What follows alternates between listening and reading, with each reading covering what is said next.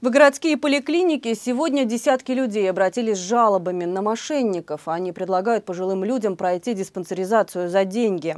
Пришла женщина пенсионного возраста э, с листовочкой, что просьба прийти на диспансеризацию в поликлинику, а на обороте стоял штамп э, в, виде, ну, в виде чека, что просьба оплатить прохождение диспансеризации 25 рублей и э, адрес, значит, э, лицевой счет.